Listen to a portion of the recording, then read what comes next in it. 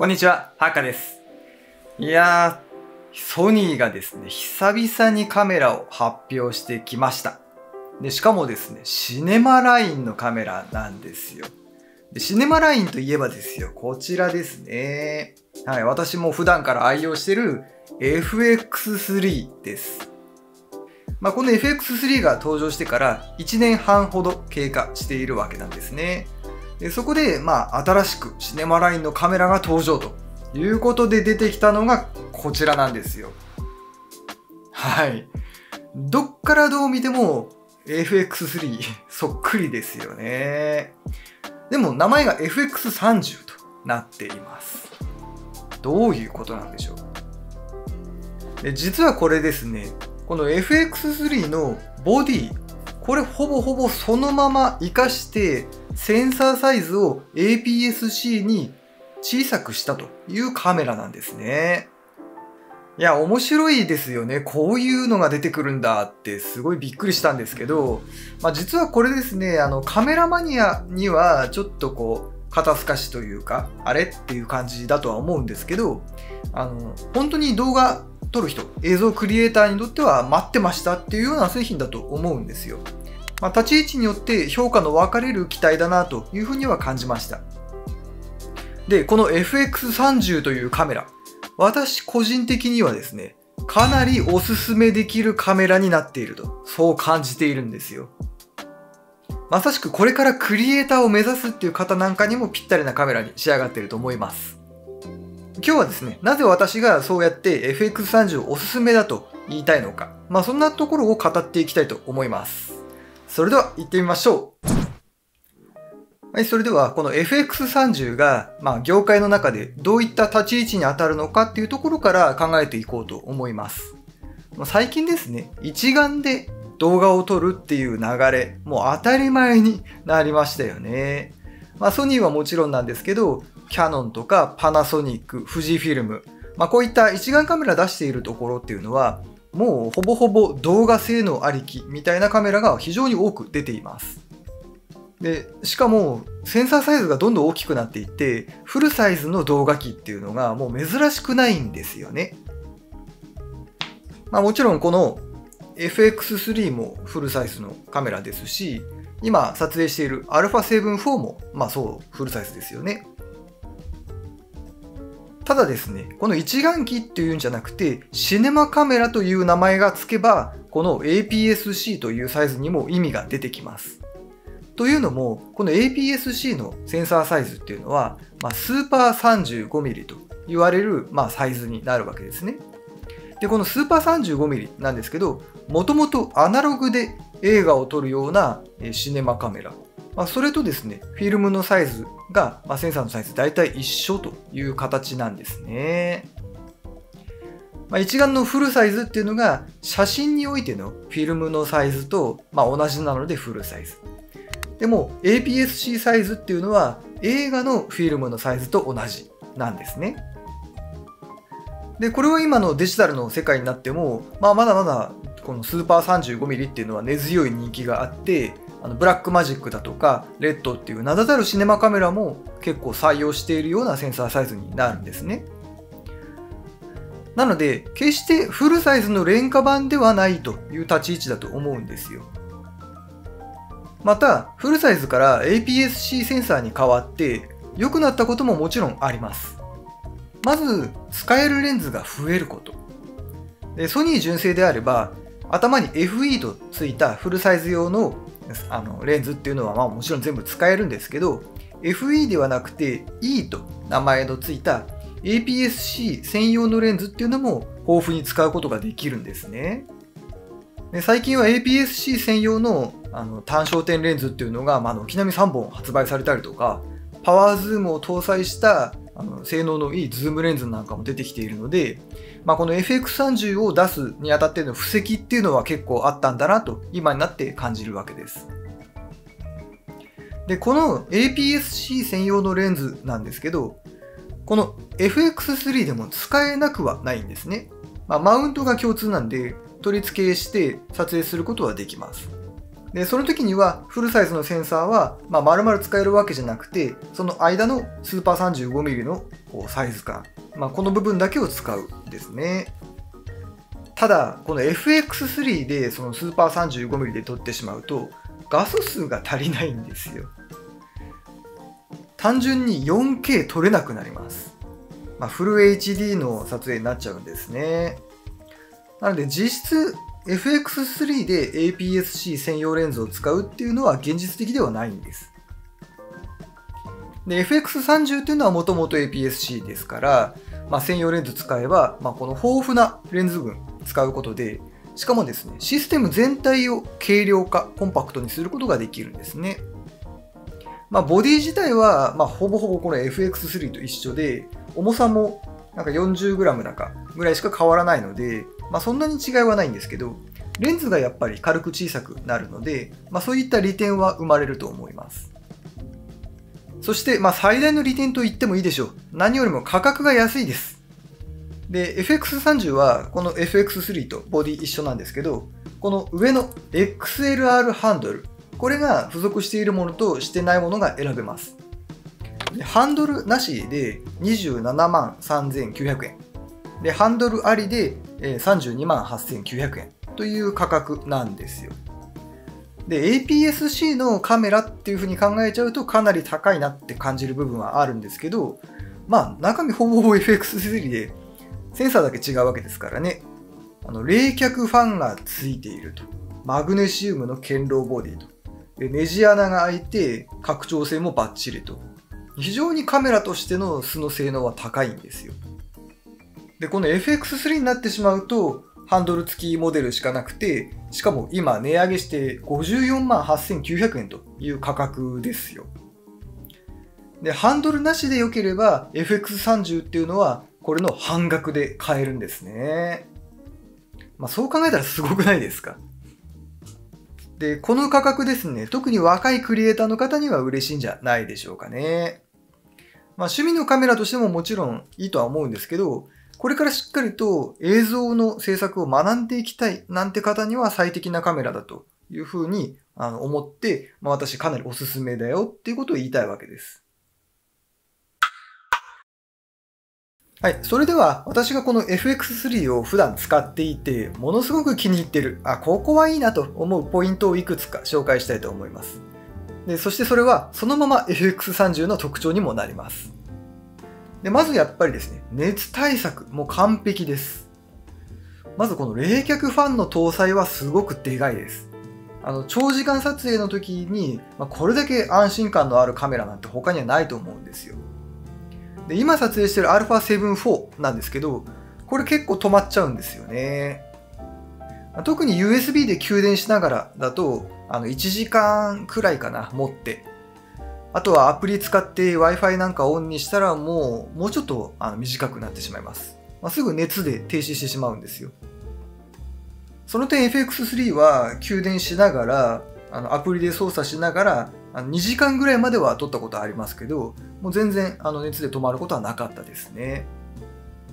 で次にですね、動画に特化した操作性。UI の部分がかなりいいです。まあ、ボディが共通なんで、ボタンやダイヤルの配置って全く共通なんですけど、もう買ってきてポンとこうすぐあの動画機として使えるぐらいの、あんまりカスタマイズいらないぐらいの操作性を誇ってます。特にまあ一人で撮影することが多いと、あのフレキシブル露出モードっていうのがあるんで、まあ、そこが非常に楽なんですよ。あの絞りとシャッタースピードと ISO 感度っていうこの3つの要素をあの自動からマニュアルまでこうシームレスに動かすことができるっていうモードなんですよね。ほんと便利です。あとはこれは、ま、かなり多くの方が同意してくれるというか紹介されてる部分なんですけどあの録画ボタンとタリーランプですねこの一番上のあの大きな録画ボタンの他にこのボディの前面に録画ボタンがあったりとか録画中の光り方ですかねはい、録画をするとこことこの録画ボタンのところとあと後ろですね。ここも光ってます。でさらにこの液晶画面のこの枠が赤く光ってるっていうところで本当に録画してるしてないっていうのが一目でわかる。ということであの自撮りなんかしていてもあのあ録画してなかったとかあのボタン押し忘れたっていう事故はかなり減るんですね。そしてハンドルです。いや FX30 はハンドルなしのモデルもあるんですけどぜひハンドルはつけてほしいと。まずネジでしっかり固定されているので当然このハンドルを持ってこうグッと動かしても全くブレることはありません。でハンドルもただ持ち手だけではなくてここに XLR アダプターがついてるじゃないですか、まあ、2系統までファンタム電源を使うコンデンサーマイクを取り付けることができますし実はこれあのここを開けるとですね一般的なカメラでよく使うあの、エレクトリックコンデンサーマイク、このピンで挿すやつですね。あれも接続することができるんです。それで、あの 4K と同時に録音することができるんですね。まあ、これもまた便利なんですよ。で、私がよくやる使い方としては、まあ、ここに、あの、XLR アダプターで、このマイクですね、ショットガンマイクを装着しつつ、で、ワイヤレスマイクをここのピン側に挿して、で、1系統、2系統って言って飛ばすと。なので4チャンネルしっかり使って録音するっていうこともあるんです。外で撮影していて環境音も人の声も同時に撮る。もしくはあの複数の人で撮影していてインタビューを撮るとか、まあ、いろいろ使い道は広がるんですね。ちなみに私はですね、普段はこの部屋で撮るときは、このショットガンマイクを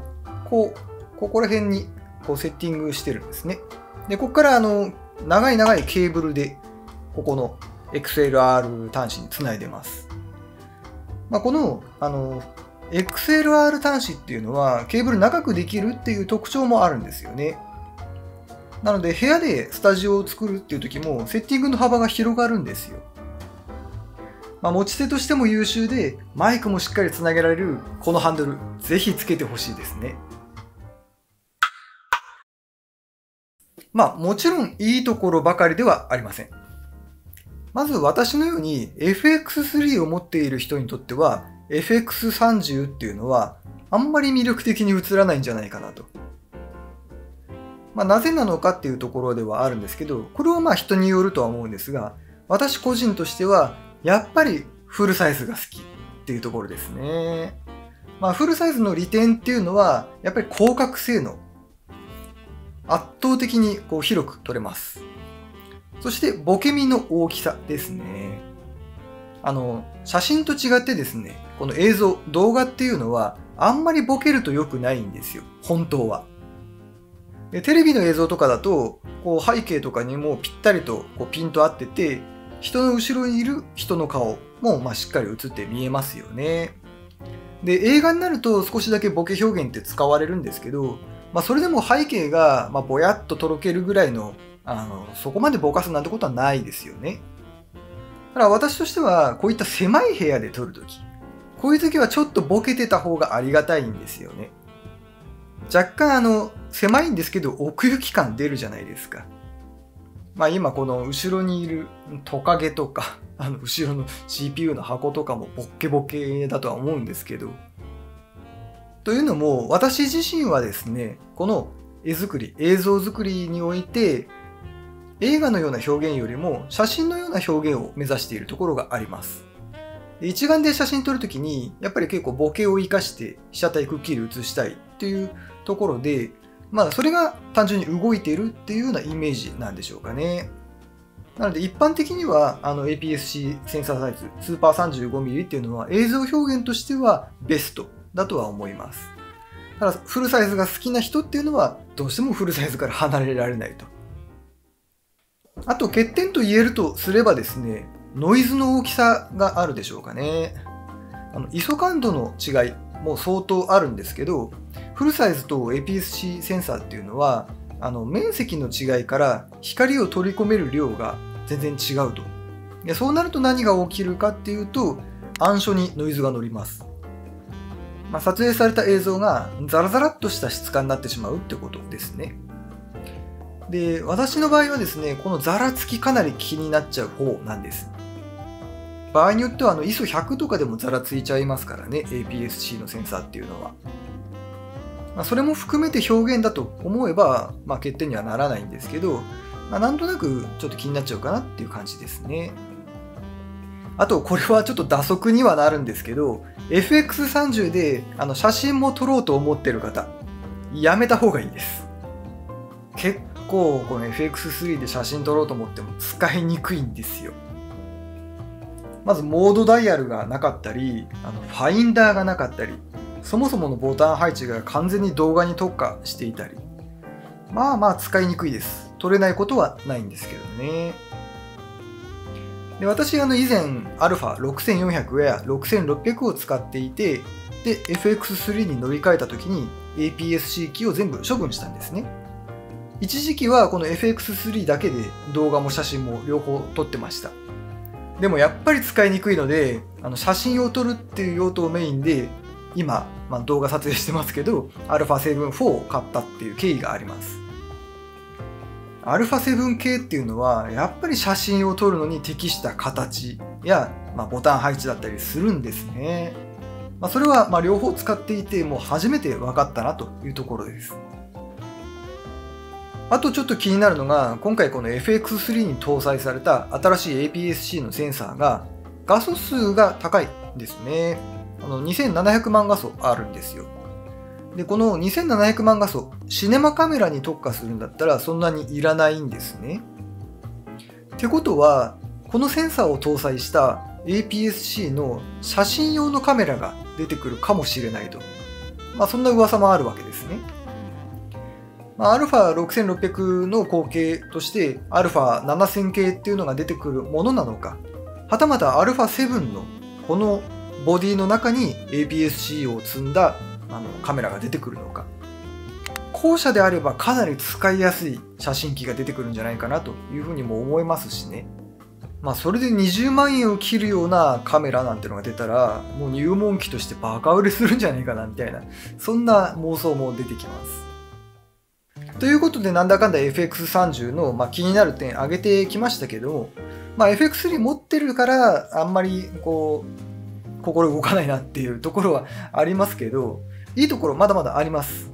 あの、この FX3 にできないこと。それが 6K オーバーサンプリング。これは先ほどの画素数が高いからっていうこともあの起因はしてるんですけど、あのセンサーの画素数的には 6K が取れる画素数があるんですね。だから 6K を取ってそのまま吐き出すわけじゃなくて、6K をこうギュッと 4K に圧縮して吐き出してくれる。まあ、そうすることであの情報としてはあの解像度の高いあの情報を持ってるんであのパキッとした映像になりやすいと。あとそうですね、この FX3 共通ではあるんですけど、カラーグレーディングやりやすいんですよ。FX30 もあのカメラ内ラットっていうのが可能になってるんですね。あのログ撮影をして後から編集するときに色味を当てるんですけど、それをモニターで確認しながら撮影することができると。で私、あの S709 というあのラットが非常に好みで、まあ、これソニーの純正のラットなんですけどね、ここ最近、あのこの FX3 をあのバージョンアップ2.0にしてからは、ずっと S709 で撮ってます。なので今日は久々に α7-4 で S シネトに戻してみたっていう感じでしょうかね。まあ、ちょっとしたことですけどあの映像クリエイターとしては非常に面白い表現の幅が広がるポイントだなと思います。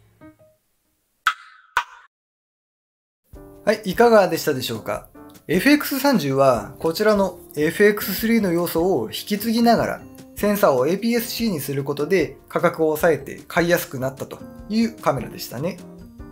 FX3 よりも手を出しやすくなった分多くの人に使ってほしい。そんなカメラに仕上がっています。多分なんだかんだ売れそうですぐ品薄になっちゃうんじゃないかなって懸念はありますね。まあ、ボディが共通ならこの FX3 もますます買えなくなるんじゃないかと。欲しい時に品薄で買えないっていうのが結構最近のカメラ業界なのでもし気になる方は早めにチェックした方がいいと思います。それでは今日はこんなところで終わりたいと思います。よかったらチャンネル登録や高評価もお願いします。ではでは。